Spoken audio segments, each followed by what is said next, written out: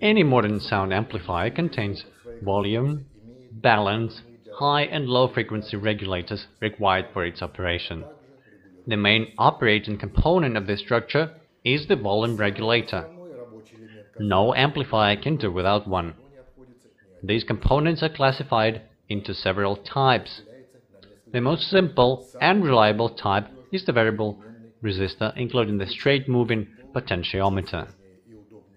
Electrically operated resistors are a bit more complicated and more convenient to use with a remote control. A sampled data regulator provides stepped electronic volume regulation based on a gang switch with a matrix of fixed resistors. This type is more reliable but also expensive. In an electric regulator based on digital specialized microcircuits, volume is increased and decreased with the help of two buttons. A considerable advantage is the simplicity of matching with remote control. One of the variants of an electronic volume regulator uses a field effect transistor as a multiple step selection switch.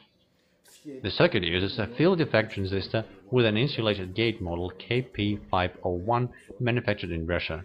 The silicon N-channel transistor KP501 is designed to be used as a switching element for electric circuits in radioelectric equipment. The assembled device is the simplest volume regulator. Of course, it is by far not as good as professional circuits.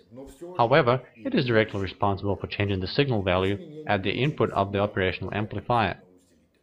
The structure is compact and has two buttons for increasing and decreasing the volume.